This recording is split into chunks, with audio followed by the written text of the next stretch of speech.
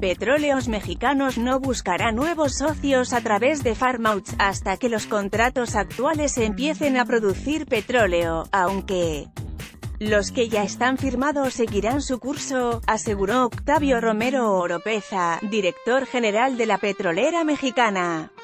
En la conferencia matutina del presidente Andrés Manuel López Obrador, el directivo de Pemex aclaró que este año la empresa buscará la cooperación del sector privado, pero a través de contratos de servicios múltiples, el modelo anterior a la reforma energética para la colaboración de las empresas transnacionales con Pemex. Se dejaron de robar 7.800 MDP de combustibles de ductos.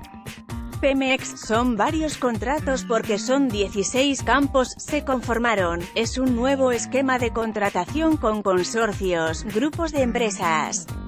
Y aclaró que hasta el momento se han firmado poco más de la mitad.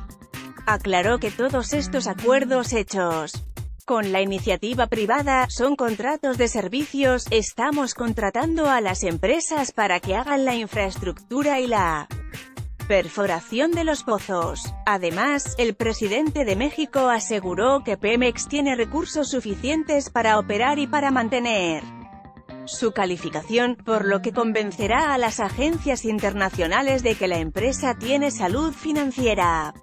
Vamos a convencerlos de que no están bien sus proyecciones, los vamos a convencer, no nos queremos pelear con ellos.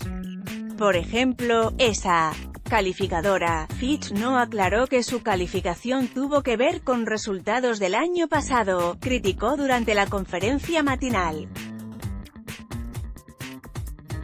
López Obrador acusó que la agencia internacional utilizó datos de la administración pasada con fines mediáticos para justificar una caída. En las futuras evaluaciones, aunque Fitch advirtió que la baja en la actividad económica mexicana será consecuencia de la falta de reformas financieras para aumentar la recaudación fiscal. Y se dio a entender, porque todo esto es muy mediático de que era un asunto nuestro.